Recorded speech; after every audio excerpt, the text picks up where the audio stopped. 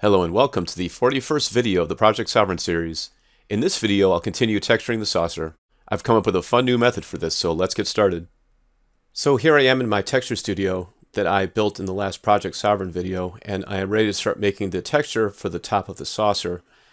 And one of the things that I want to do first is to create the color for these panels and export that texture into Photoshop so I can start building my layers and start building the texture up. And what I did was I did some research and I found a photo of the Sovereign out in the sunlight, which is the best case scenario because sun is full spectrum. You'll get a really true color reading. So let me show that to you. So here it is, and you can see it's not a totally neutral gray. It's just a bit of a brownish tint to it, and other photos kind of confirm this. So I can render this out. I can manipulate the color as much as I please in Photoshop. So the first thing that I want to do is I want to copy all of these polygons. And yes, it did take a really long time to select these, so I did not show that process. But it's just a matter of bearing down and selecting lots of things, which I noticed is basically part of the life of a 3D artist. So just go to Editable Poly and copy this as a separate object and just click OK. So what I can do now is select this and put a symmetry modifier on it. There we go. And I'm going to isolate this. So now this is all that we have. Oh, looks like I got a little something else there. Doesn't really matter though because I can just delete it. It's one of the great things about this Texture Studio is that nothing that I do here is destructive to the model itself. That's why I created the separate file, as you recall in the last last video. Doesn't really matter if this stuff shows up in the render.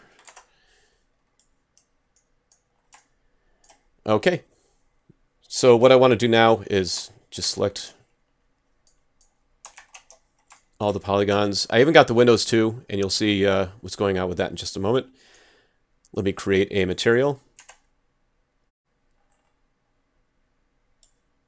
So I can erase all of these. They are completely irrelevant. And just create a new standard material. And I'm just going to use, you know, just kind of my mind's eye to create the color. Again, I can adjust it as much as I want in Photoshop. The one thing that I do want to make sure of is that it's not totally neutral because there's no way to add color to it, right, if it's completely neutral. So I'm just going to kind of find that brown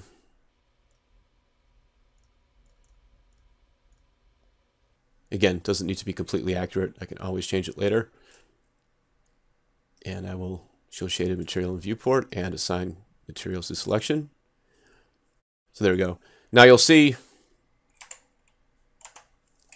I even copied the windows too. This is not going to matter because if there's any blemishes, like any edges or anything showing in the render, I can easily fix that in Photoshop, not a problem.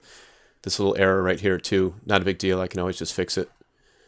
So I'm just going to go and isolate and go to my camera and show my safe frames.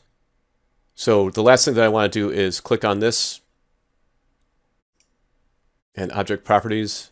And I want to make sure that this is renderable because remember in the last video, I made the entire ship unrenderable and this object inherited that property. So I'm just going to make renderable, okay, and click render.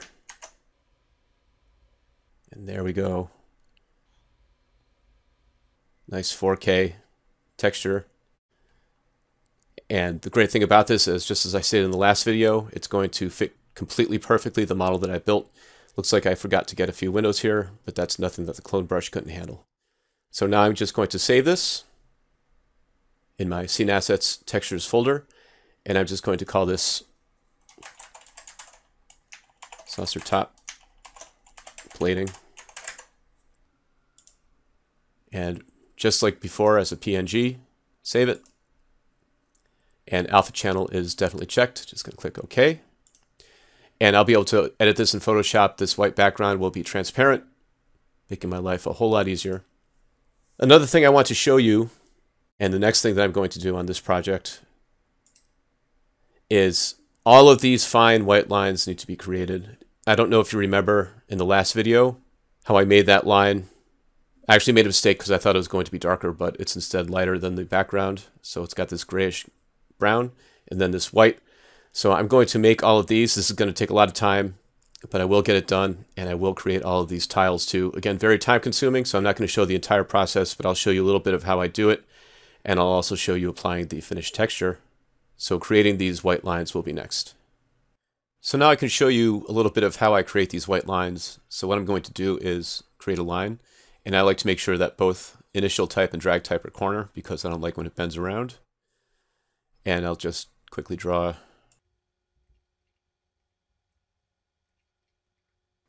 just like this, close the spline.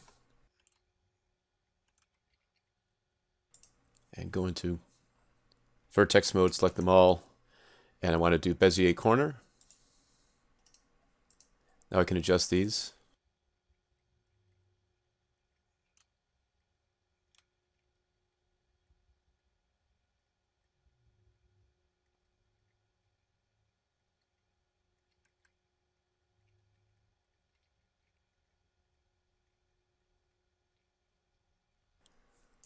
So this will do for now, and I can also adjust these later on.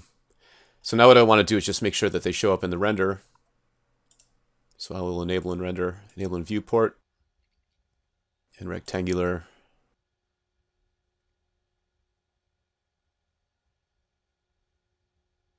And point three. Now you'll see it looks kind of like chunky, right? Chunk, chunk, chunk. So I need to turn off the interpolation, and that's going to give it 100 steps. Make sure it's nice and curvy. And the last thing I want to do is apply my wet material to it. So now it's time to create these lines here. And this part's actually pretty simple. All I need to do, I'll just show you how I do one. So I'll put a line in like so. And then I'll attach it so this line I'm going to attach to this. Now it's really easy to get rid of all these like this flashing right here. And in order to do that, I'm going to need to shut off rendering.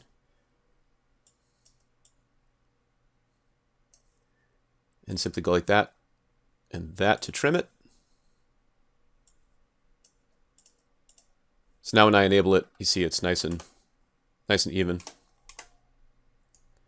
And that's how it's done. So yeah, just do that all around the saucer. Very tedious and time consuming, but again, very necessary and it's going to look good by the time it's finished. So now it's time to create the actual tiles that will be on the saucer top. So you can see them right here, sort of embedded into the armor plating. And they're also on the regular white parts too.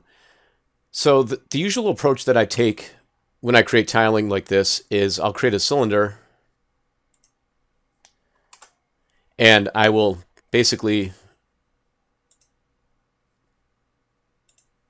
add color to each of these tiles and I'll cut in some extra smaller tiles. And this works out pretty good, but there's a couple of things that are not great about it. First of all, as you can probably tell, it's very time consuming to create all of these kind of tiles. And also, you see they change, they get much skinnier, right? Because the area changes the closer you get to the center. So they get really skinny, and then they get really large. So I decided to try and invent a new approach for this, and I think I found one. So let me go to my camera view and watch what happens. Look at that. Instant tiles. Pretty cool, right? So how did I do that? I created these particle emitters. This is super spray. So it's just right here. Particle systems, and then you choose super spray. And I created these dummy tiles over here. And I set them to instances. So if I click on this, for example, you see you can pick object. So I just picked one of these tiles and it shoots it out from the sides just like a real particle emitter. So this is great because it saves me a lot of time in placing these tiles, and also it more or less randomizes everything. So I did a few. You can see,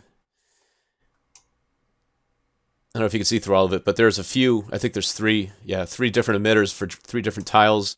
They're all different colors. The color doesn't really matter because, again, all that's going to be adjusted in Photoshop. So all I really need to do is again, just go to the camera view. Actually, I'm just going to my top view because I want to see the whole thing. And just play the frames out. So you see I drag the frame slider. So there's a time index here. And just make it go all the way to the edges a little bit more. And then what I can do is I can actually resize the emitters to stretch it to fit the shape of the saucer, more or less. Doesn't have to be perfect, but that's okay. So now when I render it,